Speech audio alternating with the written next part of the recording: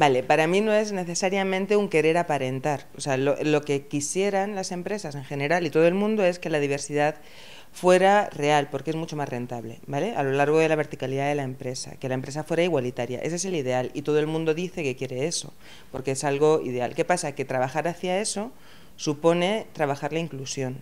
Y la inclusión es un trabajo o es una es una labor de transformación cultural, ¿vale? y, ese y cualquier transformación cultural lleva mucho esfuerzo.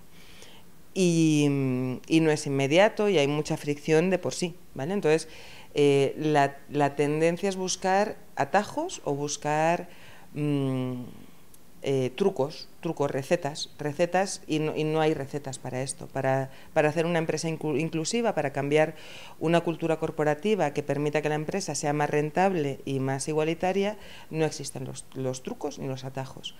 Entonces lo que se hace, como en tantas otras cosas en software también, es aplicar parches y los parches no funcionan. Pero no creo que sea de, deliberado, no creo que ninguna empresa deliberadamente quiera hacer simplemente maquillaje.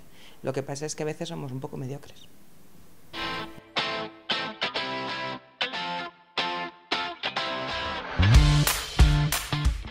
Vale, pues esa es una pregunta un poco con trampa porque me da la impresión de que quien la haya hecho eh, quiere hablar de las cuotas. ¿no? O sea, las cuando se habla de hacer diferencias se habla normalmente de las cuotas.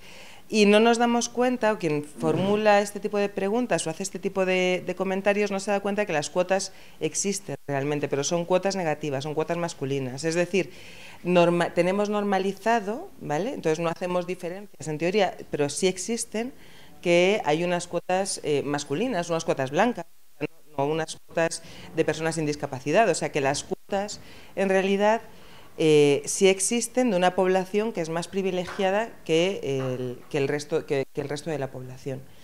Entonces, el, hacer diferencias, si no se entiende esto, ¿vale? El hecho de las cuotas, si no se entiende que partimos de esta base, que ya hay cuotas negativas existentes y que estamos aplicándolas, eh, dar lugar a este tipo de de, preguntas que lo que subyace es que nos sentimos mal, ¿no? que pensamos que es que se está haciendo algo injusto, cuando en realidad lo que vivimos es injusto. ¿no?